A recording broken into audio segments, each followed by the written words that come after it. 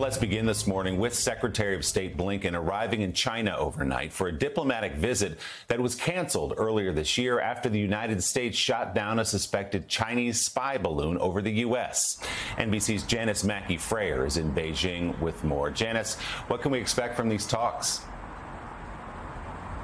Well, this is a crucial visit, Willie, when competition between the U.S. and China is fierce. Relations are borderline toxic. Trust is very low. Neither side is expecting any breakthroughs, but the fact that the Secretary of State's visit is happening is seen as a step and one that has been on hold for months. So, no doubt that spy balloon is going to factor into the discussions, along with tariffs, export bans, Taiwan, military close calls, uh, spy bases on Cuba, Russia, the list goes on. The only meeting on the schedule today for the Secretary of State was with his Chinese counterpart, Qin Gang.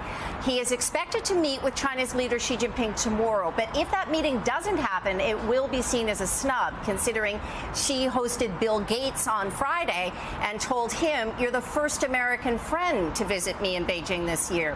For Chinese officials, the key issue is the economy.